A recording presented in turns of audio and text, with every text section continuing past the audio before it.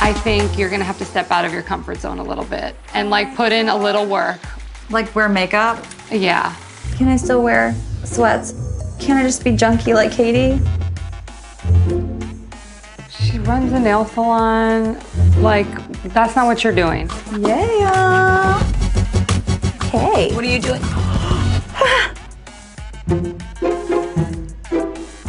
oh my God, where were you? I was at Tania's and her glam squad beat me. With what? A stick? She said, I have a nail salon, so that doesn't make me successful. Oh, hell no. I feel like like like grown. Like like I feel like a grown up. Holy crap, it looks like she fell out of a bin at Chico's. That's too businessy. Katie, I never said anything to offend you. This is what I said. I go, you aren't running a nail salon. What the hell do you want to be dressed in the same style as Katie for?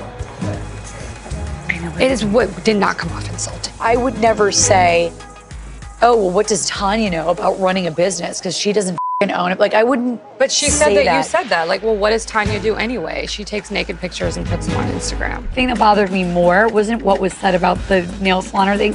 It was more like we're on different levels because you do TV and auditions and modeling and all that. Like I don't know anything about that. But it's not the same thing. You wouldn't be walking a runway, would you?